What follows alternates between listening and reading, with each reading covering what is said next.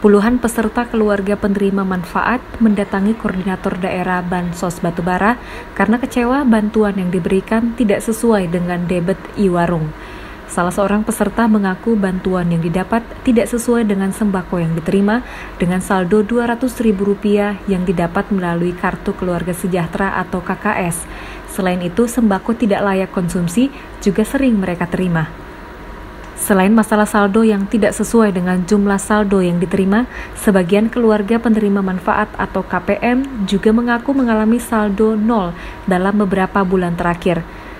Mereka meminta pihak kejaksaan agar mengusut pelaku penindas rakyat yang kurang mampu, terutama dalam situasi pandemi COVID-19, di mana kondisi ekonomi warga miskin semakin terpuruk.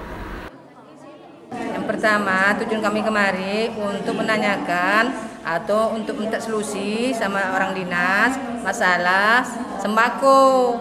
Sembako yang dapat PKH ternyata saldo kami 200 ternyata yang dikeluarkan nggak mencukupi bahannya pak.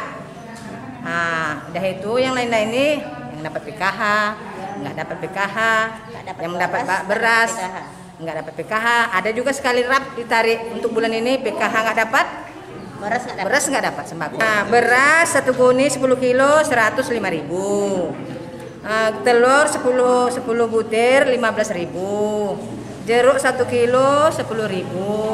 Wortel setengah kilo 5 ribu. Jumlahnya kalau kami total itu 145 kalau nggak salah. 200 ribu uang saldonya. Saldonya di kota tertulis 200 ribu. Ini ada kertasnya, tunjukkan. Ah, Belum kami dikasihkannya sama kami apa yang apa dituliskannya tadi. Dalam surat. Dalam surat pernyataan kami belum ada membacanya. Membaca, nah, katanya mau dibutuh kopi dulu. Dari Batubara, Sumatera Utara, Soleh Pelka, Tribrata TV, Salam Tribrata.